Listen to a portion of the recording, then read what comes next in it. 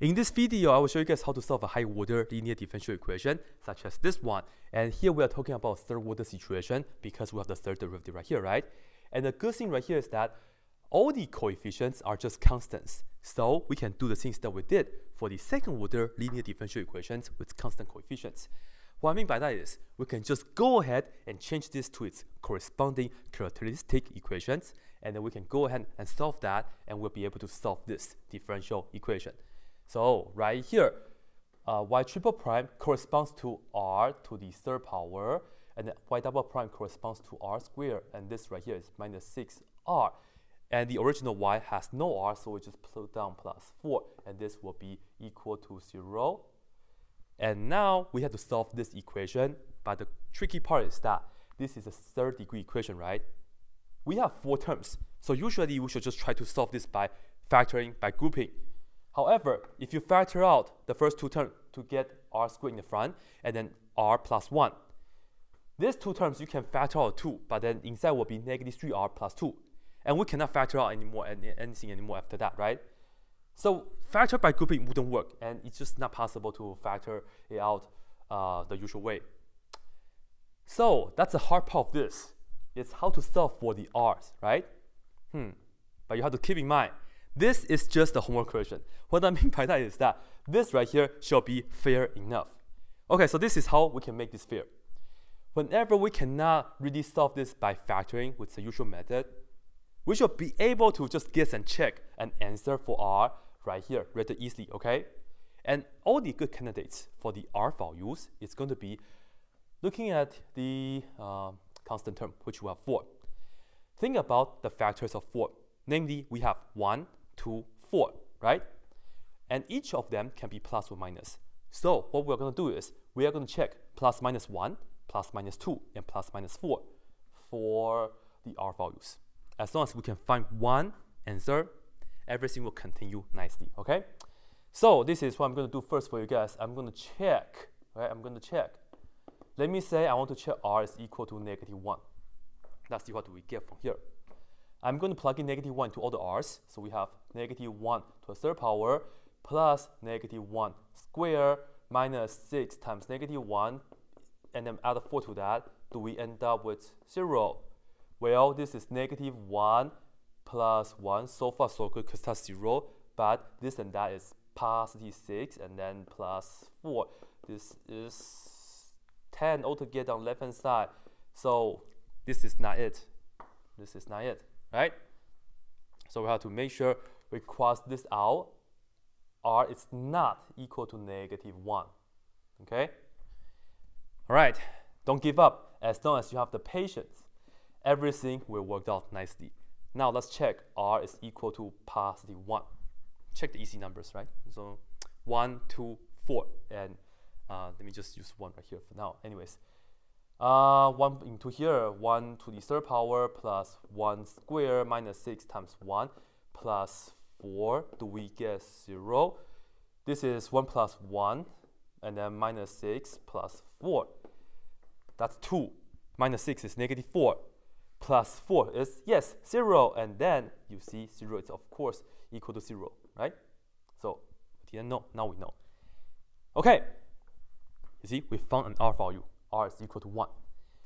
Because r is equal to 1, that means, okay, this is going to tell us that r minus 1 is a factor of this polynomial in R, all right? So what I mean by that is, you can look at this equation. The left-hand side, we can factor out an R minus 1, okay? And then we have another parentheses right here for the second factor. And of course, we make this equal to 0 still, like that. And now, the question is, how can I figure out the second factor? Well, this is the original polynomial, right, in terms of r.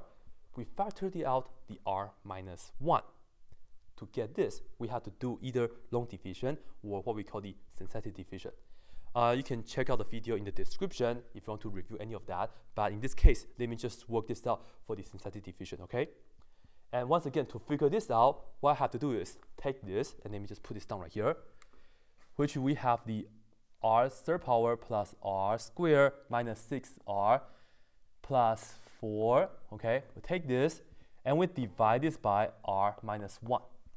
Okay, and to do so, what I'm going to do is use the synthetic division and you draw a left box like this. And you write down the coefficients, which is 1, 1, negative 6, 4, right? 1, 1, negative 6, 4. r to the third power r squared, r, no r, so in that order. And the next move is that, look at this, this is r minus 1. Think about how we can make this equal to 0. Well, r has to be positive 1, right? So you put down the positive 1 right here, okay? And now, this is how this is going to work. First of all, bring this downward. So we have 1 right here. So we just write down the 1. And then you take this, multiply with this. 1 times 1 is 1. You put down the result right here. So that's 1. 1 times 1 is 1. Put it here. And then for synthetic division, you're going to add them up. 1 plus 1 is 2. So that's what we have. And then you continue. 1 times 2 is 2. And you put it here. So we have 2 right here. Negative 6 and 2 together, you add them up, right? And this is going to give you negative 4. At the end, you do, neg you, you do 1 times negative 4, put it here, which is negative 4. 4 and 4 together, it will give you 0. And you see, this is the remainder, okay?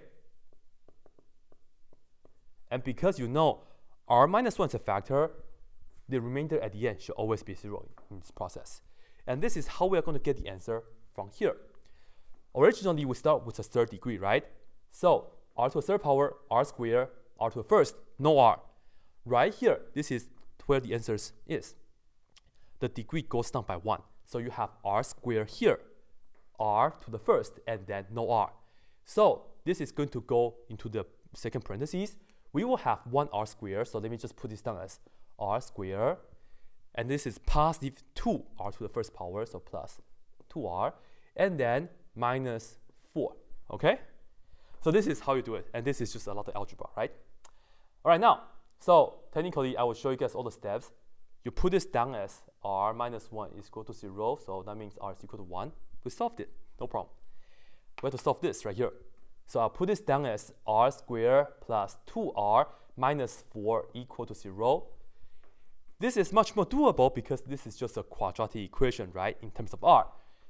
Okay, it's not factorable anymore right here. Um, what you can do is either to complete the square or use the quadratic formula. Uh, I will use the quadratic formula for you guys. I think that's what you guys would prefer me to do as well, right?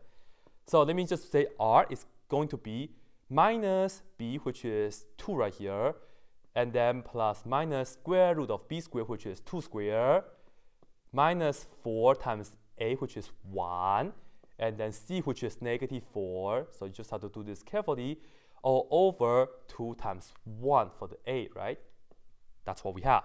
And now you will see this is just negative 2, and then we have the plus minus. And let me just keep the square root for now like this. Okay, 2 squared is 4. And then you see 4 times 1 is 4, times another 4 is 16. But you see the sign, negative times negative is positive. So in another word, we are talking about 4 plus 16. That's going to be altogether 20, okay? And on the bottom here, we have 2 times 1, which is just a 2. Look at square root of 20. We can simplify that to be square root of 4 times square root of 5, right? Because 4 times 5 is 20, and then 4 is a perfect square. And square root of 4 is going to be a regular 2. So in another word, this is going to be negative 2 plus minus. This is just a regular 2 now, and then we have the square root of 5 all over 2, right? All right, of course, you can just factor out the 2 in, on the top, and this is negative 1 plus minus square root of 5, and you see this 2 and that 2 will cancel. So all we are talking about is negative 1 plus minus square root of 5, okay? So from here, you are talking about r equals to 2 values, and both of them are real. Negative 1 plus square root of 5, and the other one is negative 1 minus square root of 5. And in our situation here, we have three real roots for the r, right? And here we have it. Let me just say y as a function of t. The building block, the first building block for the general solution for the y is going to be e to the rt. And r is well, let me use the first one. It's 1. So it's 1t, which is just t. That's the first building block for the general solution. And then this is the second r, so I'll just put this down as e to this r, which I'll put on parentheses, negative 1 plus square root of 5 t, okay? And then the third one is going to be e to the negative 1 minus square root of 5 and then t, like that. Okay, so these three are the building blocks to the solution to that differential equation, and they are all linearly independent. And at the end of the day, you know the deal. I'm going to take this and then multiply by C1 and take this multiply by C2. And then right here, we have the C3 and then add them up, right? Add them up at the end. And this right here will be it. This is the answer to the original differential equation. That's it.